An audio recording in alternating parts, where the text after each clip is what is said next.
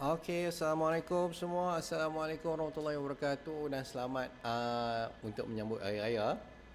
Okey, hari ini saya buat untuk tips MBB mengenai masalah uh, dia bukan masalah pun. Ada saya baca tajuk ni sekali ya. Kenapa bacaan kolesterol saya tinggi? Uh, saya sejak pantang akibat masalah GERD ni. Terutama sekali pantang konvensional yang kita dengar iaitu makan bubur, uh, masak, ma- makan sup, makan kena tawar-tawar, tak boleh ada minyak. Lepas tu kena makan buah minyak, kena makan sayur banyak, tak makan minyak langsung, tak makan lemak. Uh, tapi kolesterol saya dapati dia semakin spike, dia semakin meningkat, semakin naik. Apa masalah dia? Sepatutnya diet yang saya buat tu mengikut secara teori yang saya apa saya ketahui dia sepatutnya menyelesaikan masalah kolesterol ni dan menyelesaikan masalah penghadaman saya. Tapi lama kelamaan ni dapati masalah penghadaman saya makin teruk. Lepas tu bacaan kolesterol saya naik. Apa yang sebenarnya tengah berlaku? Okey. Untuk masalah ni kita kena faham ah. Kenapa dia selalunya LDL tu naik? Dia, kita kena faham sebab apa LDL, LDL naik. Kolesterol adalah nah, orang kata macam blok binaan lah kepada kita punya uh, stress hormone contoh macam kita fokus satu saja dia dia dia ada banyak kita fokus satu saja. Kita fokus kepada kortisol sebab benda ni penting. Okey. Hmm okey kortisol uh, kenapa? Bila ki, bila kita stres saja hormon kolesterol bukan. Okey bila kita stres saja kita punya kolesterol dia akan naik untuk nak produce hormon stres untuk counter kita punya apa yang tengah berlaku dekat badan kita. Contoh. Copi pula dah. Okey. Contoh bila kita ada masalah ah, kita ada masalah rintangan insulin. Okey. Akibat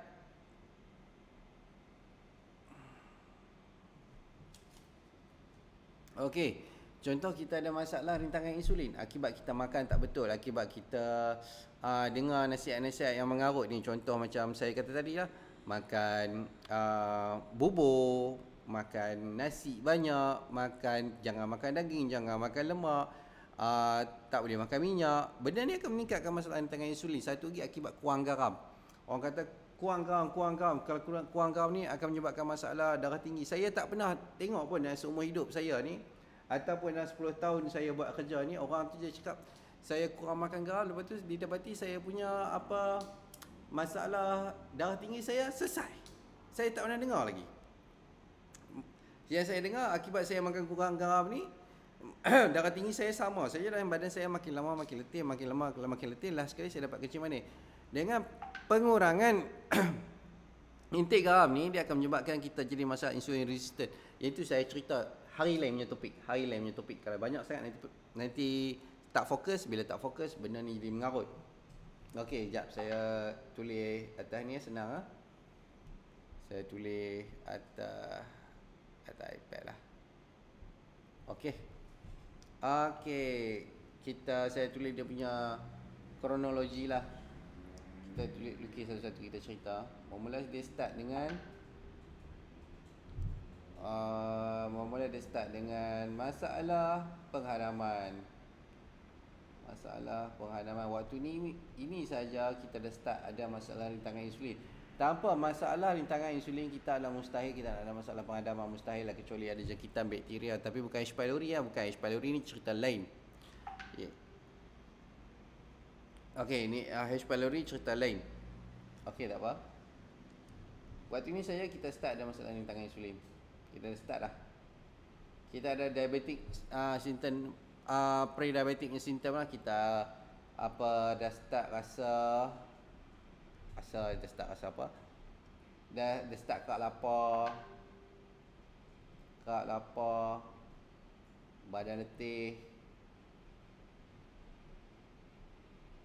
tidur rasa tak benar rest tidur rasa tak rest yang ni antara simptom pre-diabetic ah, simptom rintangan insulin. So, ada ni saja masalah rintangan insulin ni saja kita akan ada satu masalah orang panggil rintangan kortisol. Kita akan produce kortisol yang banyak untuk nak suplemen kita punya gula. akibat daripada masalah rintangan insulin. So saya nak kena bagi faham ni. Bagi faham ah contoh. Contohnya macam kita tidur malam ah. Explanation untuk orang tidur malam yang duduk terjaga. Pukul 3 pagi lagi, pukul 2 pagi lagi dia terjaga, terbeliak biji mata dia tak boleh nak tidur dah.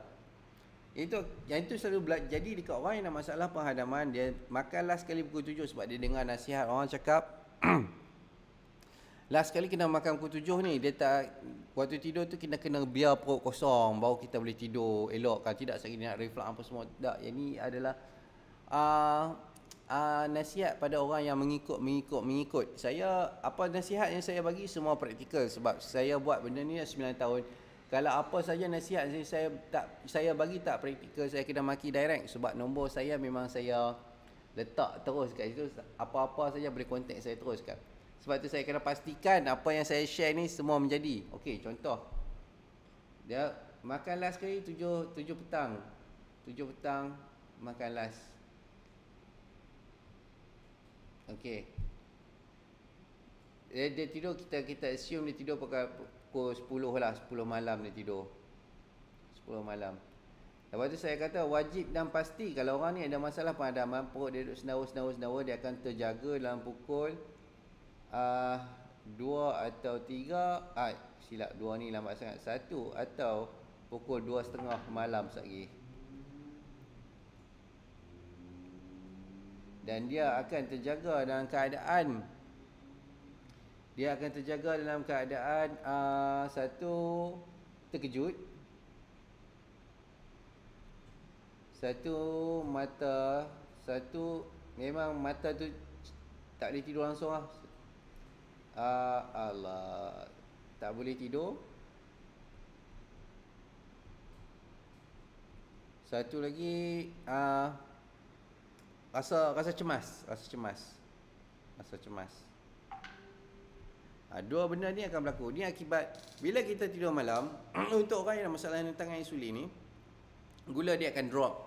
Gula dia akan drop. Gula dia spike lepas tu bila produce saja insulin dan kuantiti banyak gula dia akan drop. Bila gula tu drop untuk nak suplemen gula tu back to keadaan asal kortisol akan digunakan.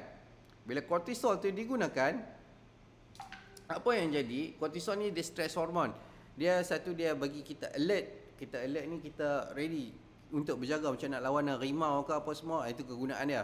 Selain pada adrenalin lah. Okey dia bagi kita kortisol ni dia alert.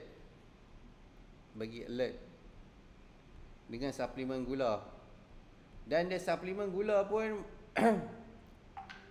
dengan yang cara yang ya, cara yang tak tak pandai okey sangat. Sebab dia akan ambil kita punya muscle dulu.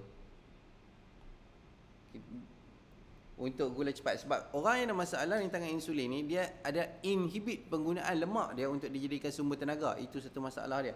Ataupun kalau dia boleh masuk guna dia punya lemak dia akan produce guna ketones kan ketones ni still tak boleh nak guna untuk badan orang yang ada masalah rintangan insulin. Sebab tu kalau macam kita tengok orang yang buat crash diet lah tu, utama dia buat crash diet. Saat kita kita pergi page ni ya. Okey. Dia buat crash diet.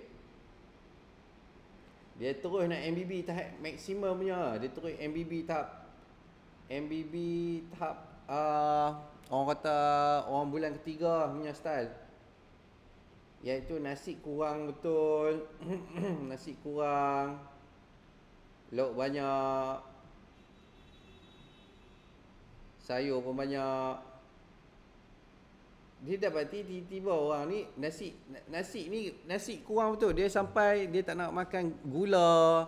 Dia takut nak makan garam. Apa yang jadi? Badan dia sangat lembek. Badan badan sangat lembek. Bila lepas tu bila check dia punya air kencing dia ada ketones. Tapi sepatutnya okey. Sepatutnya okey. Tapi badan dia tak adapt menggunakan ketones ni dia masih tak boleh nak guna. Dia masih badan still running dengan glukos apa yang jadi? Badan dia sangat lembek ah sangat-sangat lembek. So benda ni baru saya saya uh, terjadi semalam dekat ada seorang klien saya dia report kat saya dia baru dia orang baru dia order half five tapi half five tak sampai lagi tapi dia terus nak buat apa uh, diet MBB yang extreme punya style dia memang badan dia terus lembek badan dia terus lembek lepas tu dia pergi check hospital ada ketones lepas tu dia tengok dekat dia punya blood test tu blood blood test punya report dia punya kolesterol dia tinggi dengan uric acid tinggi. Uric acid ni kita tinggal cerita lain. Dia sama juga, dia tak masalah perut. Dia uric acid ni dia tidak cerita langsung dengan mengenai kita makan daging, uh, intake daging, intake seafood menyebabkan jadi masalah uric acid tak ada kaitan langsung, tak ada kaitan langsung. Adalah mustahil untuk meningkatkan kandung apa untuk spike kita punya uric acid melalui makanan-makanan protein yang saya cakap tadi. Mustahil. Dia cuma contribute sikit saja apa yang cerita yang sebenarnya adalah dia punya buah pinggang ada sikit masalah akibat masalah insulin resistant yang boleh repair. Benda ni boleh repair lagi, tak ada masalah. Tapi kita cerita balik uh, untuk masalah yang tadi ya. Apa correlation antara kolesterol uh, high kolesterol untuk orang ada masalah penghadaman. Okey. So kita kita lepas apa kita dengar apa yang saya terang tadi, ini dapati sebenarnya kolesterol tu keperluan, keperluan. Kolesterol LDL kolesterol ni adalah mustahil. Satu lagi saya saya nak cerita bagi bold sikit ah, bagi clear. Adalah mustahil, adalah mustahil untuk kolesterol kolesterol kolesterol naik akibat makan lemak tepu. Ni adalah mustahil. Benda perkara yang mustahil. Kita makan lemak tepu tiba-tiba kita naik kolesterol. Adalah mustahil. Kita kena faham. Keperluan kolesterol tu naik. Keperluan. Dia adalah keperluan. Adalah mustahil untuk Tuhan buat satu benda tu kerja sia-sia. Ada mustahil. Tuhan tu buat kerja sia-sia. Dia kata hmm orang ni um, kita bagi genetik dia apa nak betul lah kita bagi dia ada kolesterol tinggi lah. Padahal satu ketika dulu kolesterol ni kita tak ada dengar apa masalah kolesterol masalah jantung kita tak ada dengar. Cuma bau-bau ni saja orang duk kerak mati pasal benda ni. Mati mengejut lah apa semua. So apa macam saya cakap tadi ya keperluan kolesterol ni. Keperluan kolesterol naik adalah untuk menghasilkan hormon stres kita stres hormon yang antaranya adalah kortisol yang keperluannya untuk suplemen kita punya gula bila kita drop akibat masalah rintangan insulin. Itu satu, ada banyak lagi tapi saya fokus pada satu saja bagi orang faham. Bagi orang bagi orang senang tangkap dia, dia, dia cerita dia kena satu saya. Satu saja. Satu iaitu bila gula drop hormon stres tadi kortisol akan suplemen suplemen kita punya gula untuk bagi balance balik. Okey. Untuk nak buat kortisol ni, dia perlukan pengeluaran kolesterol. So, untuk orang yang ada masalah high kolesterol ni, saya kata hang ada masalah perut. Apa-apa pun hang kena selesaikan masalah perut hang dulu untuk dapatkan bacaan kolesterol yang sepatutnya.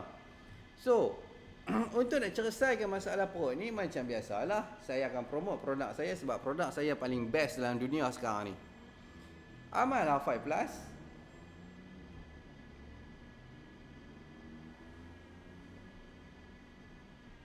Ingat Tulis satu lagi Kalau biru lah senang Mana biru Tak ada biru Hmm. Color biru, color biru, color biru, color biru. I want color biru. Okay. Done. MBB. Ini saja ubat dia. Hafai plus.